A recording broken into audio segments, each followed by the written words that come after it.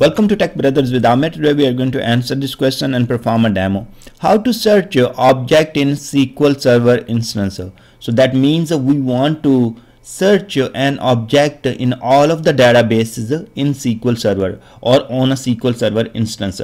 So answer is sys objects view provide us a list of objects in a database.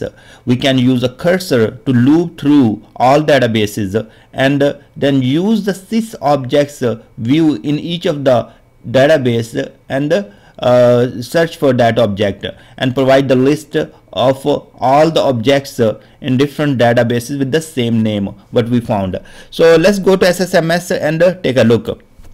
Now what I have here I'm uh, I have written my query select star from sys.objects and I am in the test database right now. So if I run this one it is uh, returning me all the objects uh, that include system tables uh, system store procedures and everything. So and views uh, uh, and user tables constraints uh, and whatnot. But I am interested only in the user databases so, sorry user objects. So what I'm going to do I'm going to say where is ms shipped is equal to 0 so where it is 1 it means uh, they came with the system. Where it is uh, 0 it means they are user. So I got uh, the list of the user objects. Now next part what I'm interested here this is given me the name of an object. Next uh, I want to get the schema because there could be possibility we will have uh, two objects with the same name but different schema. So I want to get the schema name as well and the last thing I, am interested to get the type and the description. And also I would like to get the database name with it. So I have a query that I have written I want to show you here. So what I did I used the db name function that returns me the current database against which we are running the query. So next what we have uh, the name name uh, mm, from the uh, sys.objects that's the object name that can be table name view name store procedure name or anything. And then uh, I'm using uh, the built-in function schema name and uh, if uh, I have to provide a schema ID to get the schema name to this function. So schema ID uh, column is available in sys.objects uh, view that I provided to it. So we can get the schema name. And then I'm getting type and type description from the sys.objects view. And we are interested only in user objects. So this is the where clause. Let's run the query. Now it returns us four objects. So we can see that let me make it a little wider. So we have this uh, these are two views. So the type is v and it tells us in the description there's a view. And then we have a table customer and there is one default constraint we have created on table. And uh, that's how you will be getting the information. So let's say we are searching for a table customer across multiple databases. So how we will do it? If we have hundreds of databases one thing uh, we cannot change every time. Let's say okay let me run on test this query then go to the test one and run this query there. Okay next one uh, I want to change this one to test DB so that might be okay with uh, running four or five databases and uh, taking the information. But if I'm running uh, this query again against hundreds of databases uh, the manual part is not going to be helpful so every time we have to change and uh, run it change and run it. So that's uh, gonna take whole lot of time and wastage of time. So what I have here for you I have created a script that will be used to loop through the database list and run the same query against sys.objects in each of the databases and then put the information into temp table. And then we can query this temp table at the end and find out our object name. So first of all I have declared the variable object name and uh, I have given varchar 100 you can increase it if you feel like okay your objects are going to be uh, lengthy in the name so you can make it 500 then I'm setting uh, the object name variable is equal to customer. So I'm looking for the customer uh, table or the store procedure or view. So I didn't tell like what exactly I'm looking. I'm just looking for a customer object okay? Next uh, I'm checking uh, if uh, this temp table uh, global temp table is available in the temp db if it is then drop it. The next part uh, I'm creating this uh, table with the uh, the columns database name object name schema name object type and object description. These are the columns they are informative or they give me enough information for regarding this object. And then uh, I'm creating uh, uh, I'm declaring a variable db database name and then uh, I'm starting a cursor. So I declare a cursor for all the databases. So this is going to give me the list of the databases on my instance. Then I'm opening a cursor and then we start fetching the record. So we fetch the first database name into this uh, variable and then we uh, entered in the loop. So here I'm uh, setting the variable to the this uh, variable database name. I'm setting the value of uh, this variable to the internal uh, or local variable at the rate db name.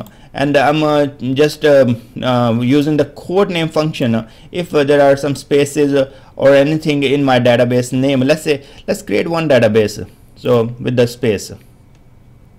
And see if because if I would not have the quotes around that this this will fail. Create database and we say sale. And here we have to put the quotes around. Let me show you if we do without quotes what happened. Sale uh, region. So if I will try to create like this uh, this is going to give me error. But if I will put the quotes uh, or I can put the quotes here. Now it is going to take uh, the sale region at one uh, string and create the database for us. The, also if you are not interested uh, to put uh, these quotes around here you can always put uh, let's say we want to put we want to have a space in the database name and uh, then uh, we can use the co double quotes or we can use these square parentheses so that that but I don't really recommend uh, putting the space between the database names uh, it will create a lot of problems for you while you query and sometime um, you miss those uh, quotes or you have to write a lot of parentheses. So I recommend uh, not having space. But anyways this part will be taken care if uh, there is a any space between the database names. So I'm setting to the new local variable and putting the quotes around it and next uh, I'm using a dynamic SQL inside the dynamic SQL I'm changing the database name. So I say that use database name. If I will have a store procedure or a um, even a um, I, I, I don't have the way to uh, say okay user and that of db name. If I will try to do that it is going to give me the error. So if I will say user at the rate the db name it is not going to change that. Let me show you real quick. I always create examples and um, show you real quick what is exactly happening. So if I'll say declare at the rate db name and the varchar 100 and go and then uh, sorry uh, I will say set at the rate db name is equal to test. Now if I'll say use at the rate db name this is going to fail. So it is an incorrect uh, syntax near at the rate db name. So it cannot use uh, a variable here. It has to have use uh, the database. So if i want to change to the test i have to say test here. So that's how it will work. Now change to the test.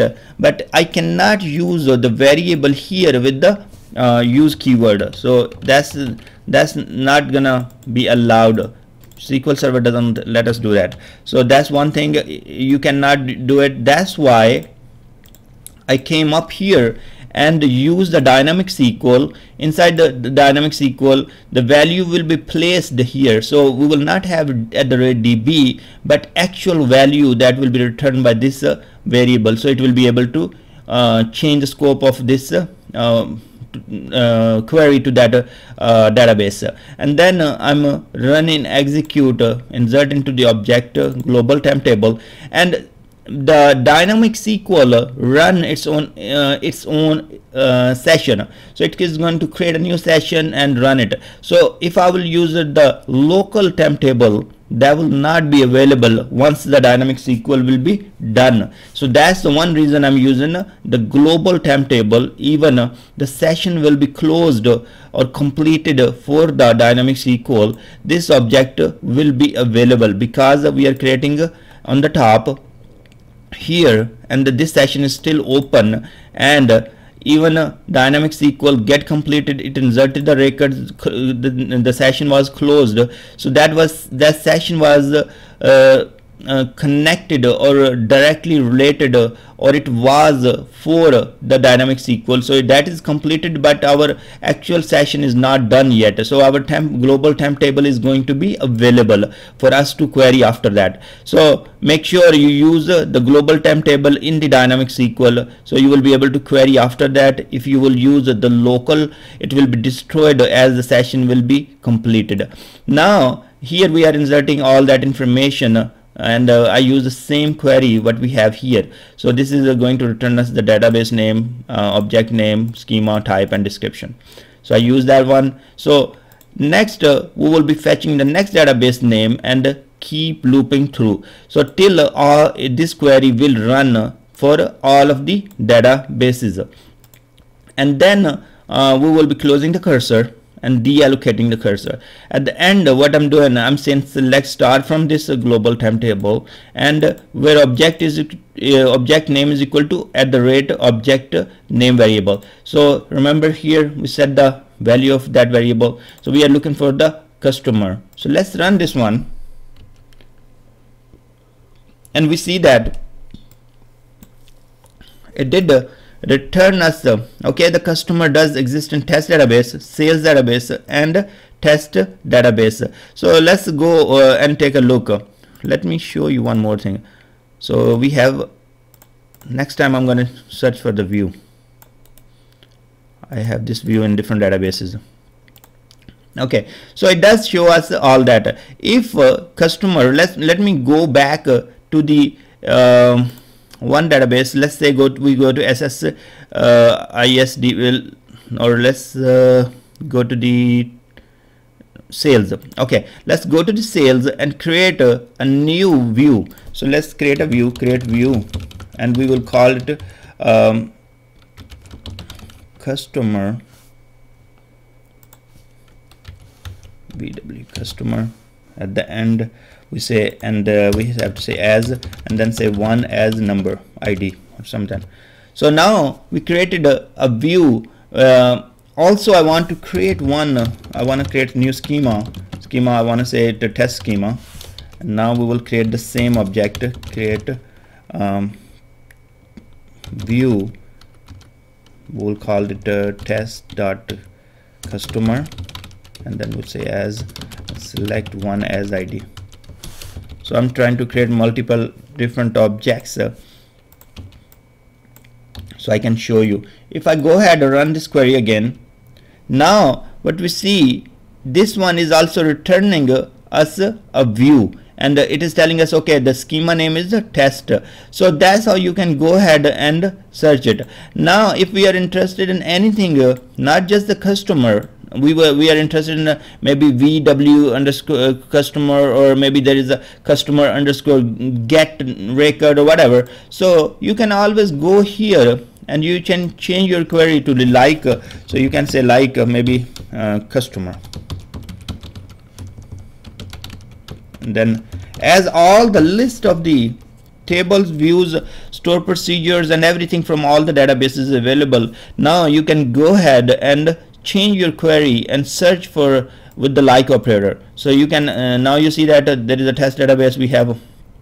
And here we have uh, in the sales I created that VW view and uh, that is also coming so this uh, uh, global temp table is actually having all the records for all the user objects from each of the databases. So you can query after that whatever you want so if even in the um, temp table you have those uh, global temp tables uh, you have created it is showing you that. So this is one way how to change the database name inside your store procedure. You can use this script as well. How to uh, use a cursor so you can use this one uh, script as a uh, learning point and I have a, a, lot of other videos on uh, same topics how to prepare your uh, cursor and what are the steps in the cursor. And uh, also I have a video how to change the database name inside the store procedure and all that. So if you want to change this one to store procedure you can go ahead and create store procedure and pass a parameter uh, as object name and uh, then use it. So thanks very much for watching this video and I will see you in the next video